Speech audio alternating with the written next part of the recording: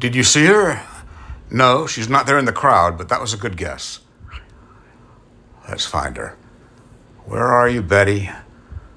Come out, come out, wherever you are. Ah, I see her. I see the greatest actor who ever hit the screen. Right there. Do you?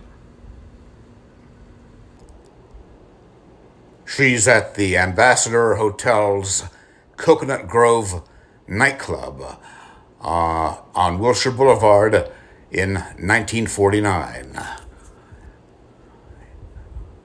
Miss Bette Davis in Stanley Kubrick's The Shining, believe it or not.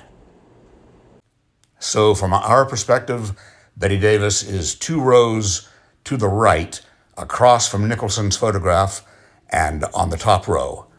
And uh, that's fascinating to know, of course, and I've, I've always enjoyed knowing it and I always enjoy finding it.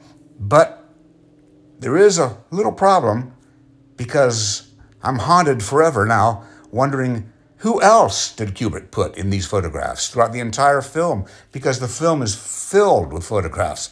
These photographs are all over the Overlook Hotel, and God only knows who Kubrick poked in there for us to find. So if you find anybody else, if Joan Crawford pops up, or Conrad Veidt, or David Bowie, please reply. Thanks, guys.